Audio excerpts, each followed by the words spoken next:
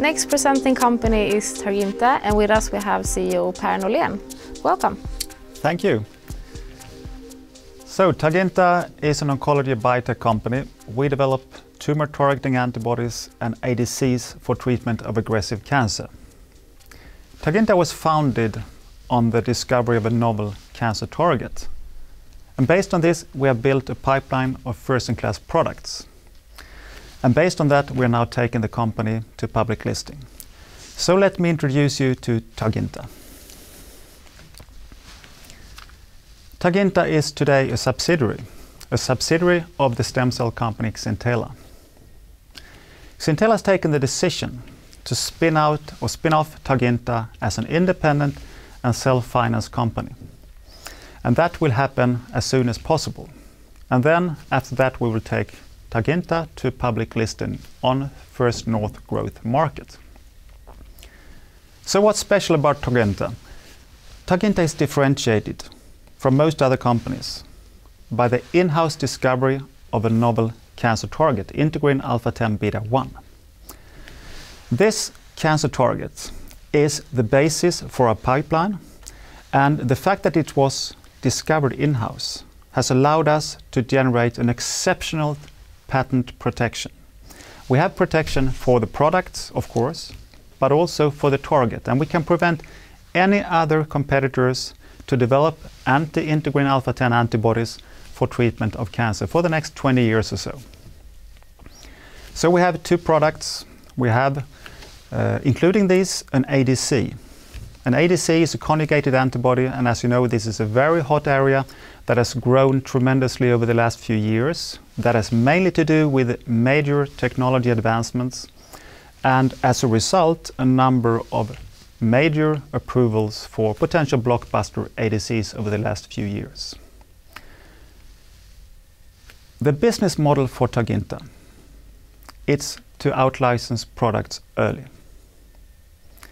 Now, we all know that's challenging. In order to be successful, you need either a unique target or a unique technology. Also, you need to be well-positioned in a very hot market. Now, Targinta check all those parameters. We have a novel target, and we are really well-positioned in the ADC area, which is becoming extremely hot.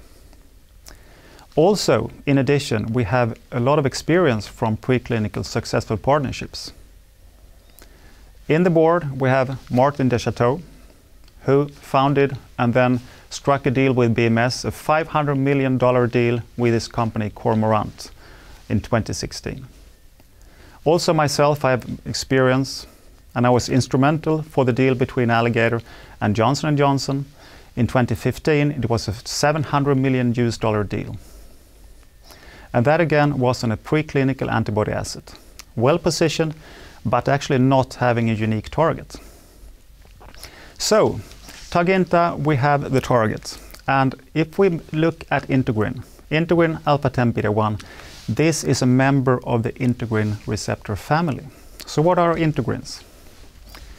These are receptors that allow cells in tissues to adhere to the surroundings, to attach to the surroundings. And this is really important for the well-being of cells in tissues. And that's reflected by a number of approvals of drugs targeting integrins that's already on the market. Integrin alpha-10 beta-1 is specifically expressed on cancer cells, and it has a very important function, promoting cancer cell proliferation, migration, and survival. And of course, if you block these signals, there will be effects preventing tumors from growing and from spreading and from metastasizing. But what's also really important on the target is the extremely selective expression. There's high expression on certain aggressive cancers like triple-negative breast cancer and glioblastoma, whereas there's extremely low expression in normal tissue. You have one example here on the right-hand side. What you can see in green, this is surface expression of integrin alpha-10 beta-1 on glioblastoma cells. And you can see the strong expression compared to other cells. It's expressed on glioblastoma, but also on triple-negative breast cancer, but, and those are our initial lead indications. Triple-negative breast cancer, this is aggressive breast cancer that lacks receptors for most of the common treatments today. So there are basically no targets present on the cells that can be addressed by current treatments. They are negative for HER2, for estrogen, and for progesterone. And therefore, oh, there's also really poor prognosis. Five year survival in the range of 12%. It's also quite a large market. Around 300,000 patients every year get triple negative breast cancer.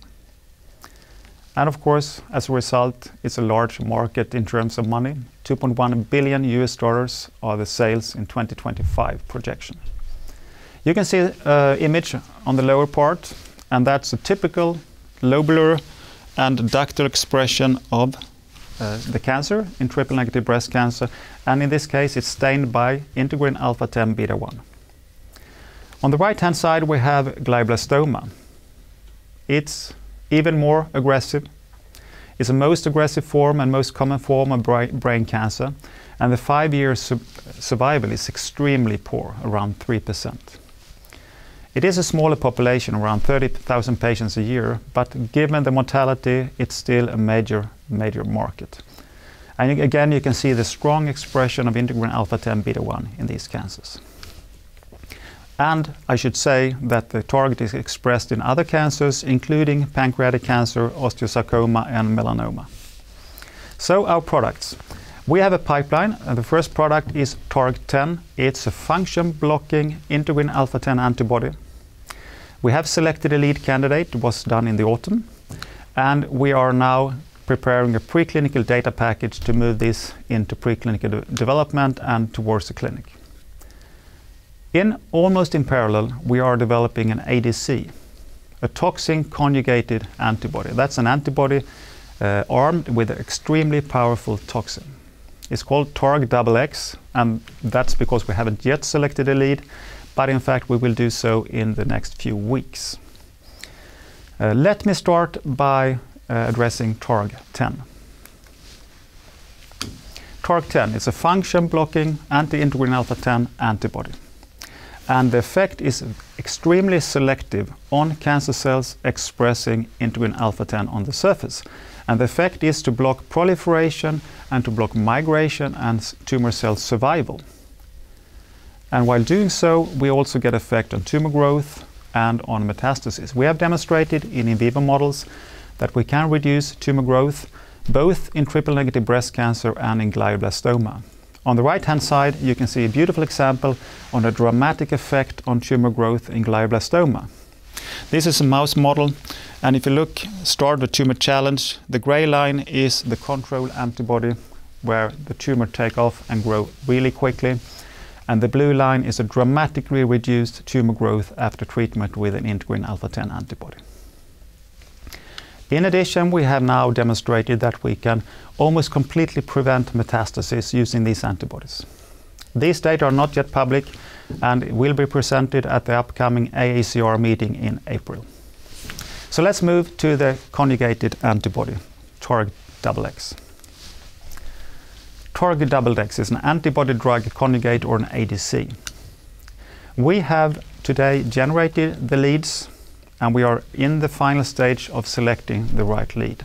We spent the last few years in evaluating different toxins and different linkers, and in the end, we have, with, with the help of the partner, come up with the new generation technologies and a really great product. The product induced extremely selective cell death in tumors expressing integrin alpha 10 on the surface. And you can see one example on the right hand side. This is again an in vivo model where we treat the animals with integrin alpha 10 antibodies armed with a toxin. And as you can see on the right hand side, there's strong induction of cell death when we treat with an integrin alpha 10 specific ADC, but no effect whatsoever on cell death if we have a similar toxin carrying antibody but without targeting integrin alpha 10. We should remember that an ADC, it's an antibody that carries a toxin. So the antibody could be seen as a carrier, a device that allows us to take the toxin extremely specifically to its location where we want the effect. So as long as a toxin is bound to the antibody, it's inactive. And by that we can inject this uh, construct into the circulation. It can travel through the body without making any damage. And once it binds to integrin alpha 10 beta 1 on cancer cells, it will be taken up and the toxin will be released specifically inside the, uh, cancer cell. And there it will kill the cell. So that's uh, the new generation ADC technology. We have demonstrated also reduced tumor growth. Uh, we have shown that in glioblastoma, and we are now assessing a number of different tumor models, uh, and we'll, based on this data, select a lead candidate before the end of Q1, which is within a few weeks.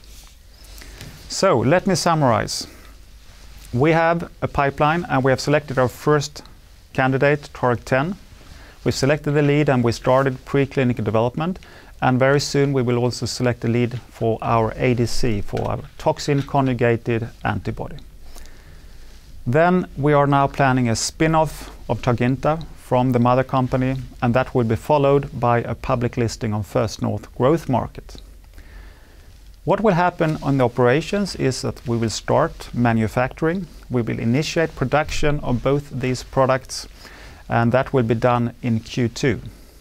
And that, of course, aims to generate material for future clinical trials that are set to take off in the second half of 2024. And to do so efficiently, we aim to find a partner in the preclinical stage in order to accelerate the products through clinical development and towards patients. Thank you so much.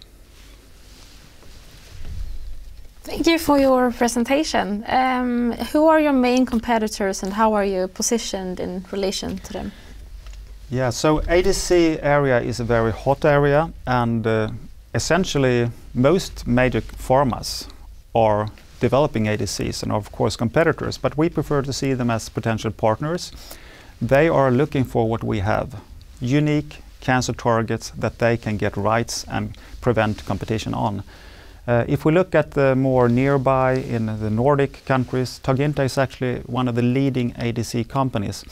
Uh, we have a competitor in uh, Copenhagen, Adcendo, and they develop a similar product towards a similar cancer target, and we are almost at in parallel in development stage. So that would be the most close competitor. And are you financed for the upcoming activities in 2022? Uh, Targinta is a subsidiary, a subsidiary to Xintela. So we are financed by Xintela. And of course, uh, the spin-off is planned, and once uh, Targinta is spin-off or spun off, uh, we will uh, take it to public listing on First North. And given the requirements, we need 12 months of funding. We need to have a plan to have that in place before we start the listing. So all that will have to be communicated by Xintela, and they are at the steering wheel in this. And as you're becoming an uh, independent company, what does that mean for your uh, organization and operations? Uh, in a way, not much, because we're already acting as an independent company.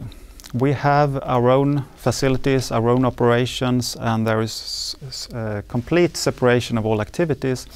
That said, we do collaborate and we will continue to collaborate. Uh, for example, the CEO of Xintela, Evy uh, Lundgren Åkerlund, is uh, CSO at Targinta, and we can use her scientific expertise at Targinta.